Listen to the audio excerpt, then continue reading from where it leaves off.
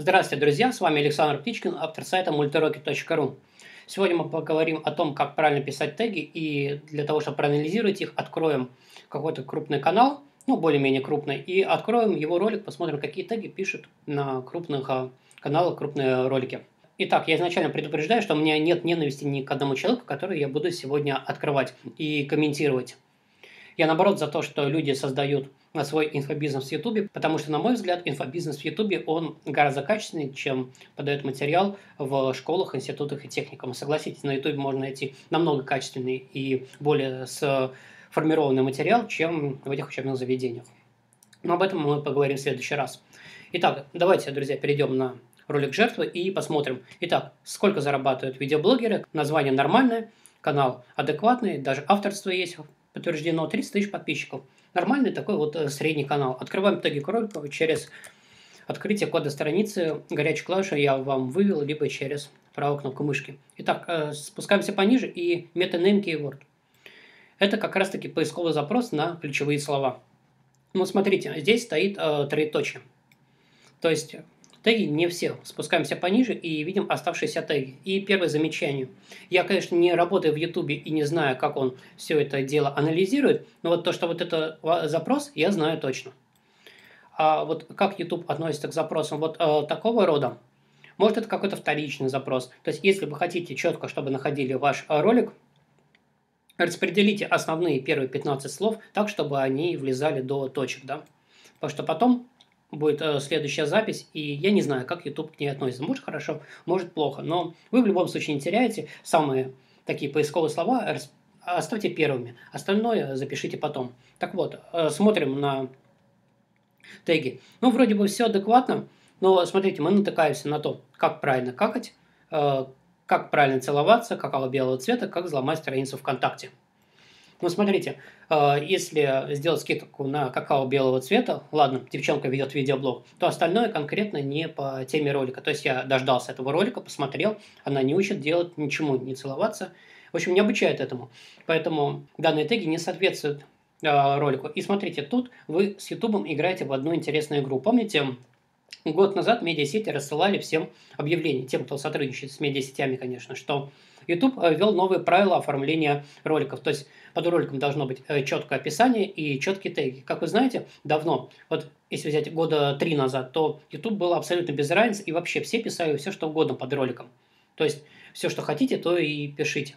И YouTube очень тихо ввел данные правила и успел еще даже забанить некоторые каналы, даже с учетом, что медиасети рассылали. Хорошо, мне не надо было лазать по своим э, 250 роликов, что-то исправлять. Я всегда писал, что мы делаем в уроке в описании к ролику. То есть мы прокладываем маску, анимируем это и делаем это. А кому-то, прикиньте, пришлось 600 своих э, роликов переделать описание и теги к ролику. Да, за три дня это, наверное, не очень-то успеешь. А, так вот, здесь вы с YouTube играете в одну интересную игру. Успеет он вас забанить, либо не забанит.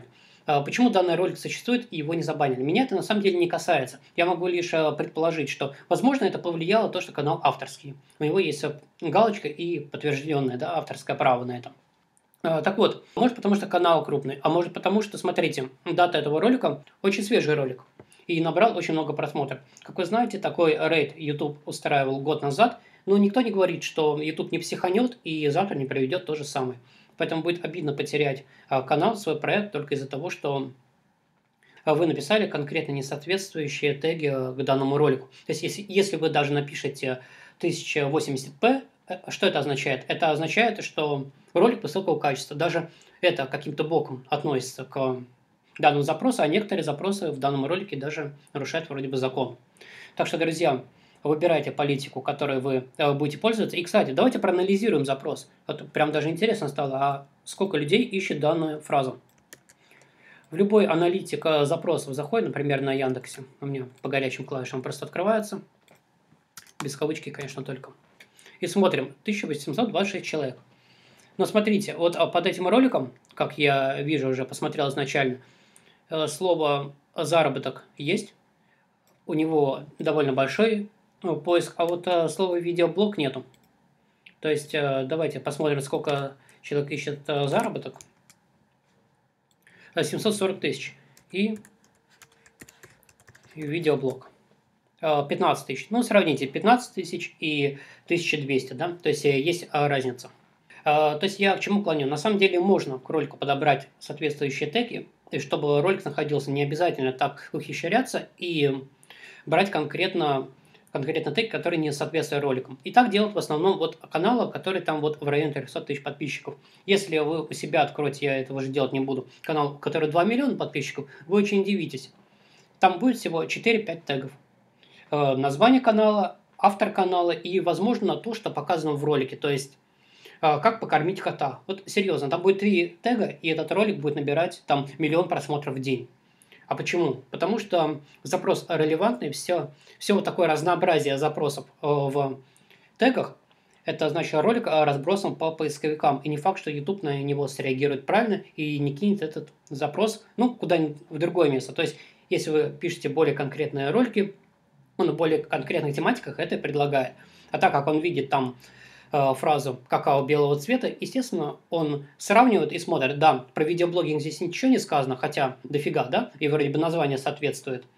И поэтому давай-ка я отнесу этот ролик в какао белого цвета. А сколько людей ищет данный запрос? Да, фиг его знает. Давайте, кстати, посмотрим, сколько. Какао белого цвета.